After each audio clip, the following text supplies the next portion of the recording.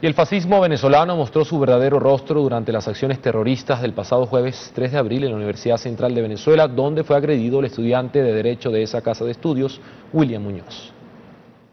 Luego de haber recibido asistencia médica, hoy nos cuenta su experiencia que casi le cuesta la vida. Lo que en el pasillo de la Facultad de Ciencias Económicas y Sociales, me golpearon en el cráneo, que tengo una herida aproximadamente de 4 centímetros que tuve en el cráneo este, me, tiraron al piso y entre como entre 50 60 personas me golpean patadas, tubos, todo en el piso, me robaron, me despojaron de todas mis pertenencias, me quitaron un bolso, mis teléfonos, me partieron los lentes en la cara de una patada y todo.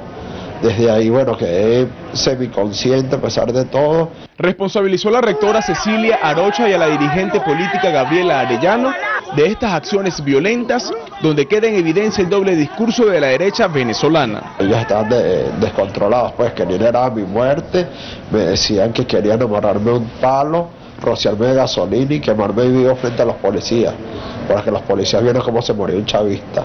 Ese era el discurso. Había personas que no eran inclusive de Caracas, que tenían un acento andino y todo, pero me imagino que era parte de ese movimiento que maneja ya no los sicarios que ella sí maneja aquí, que a mí es que me quieren victimizar de sicario, pero no, los sicarios eran ellos que me querían asesinar ese día, encubierto siempre por la rectora Cecilia Rocha.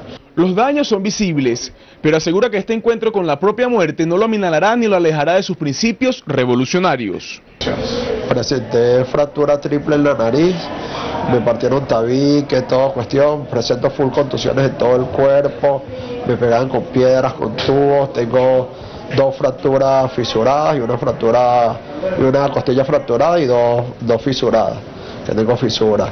Los otros golpes son contusiones y ahora me presento una herida craneal que me tuvieron que ser intervenida quirúrgicamente para hacer la, la limpieza respectiva para prevenir algún daño craneal a futuro. Indicó que una vez pueda valerse por sí mismo acudirá al Ministerio Público y a la Defensoría del Pueblo para solicitar el inicio de la investigación judicial en contra de los actores materiales de su agresión.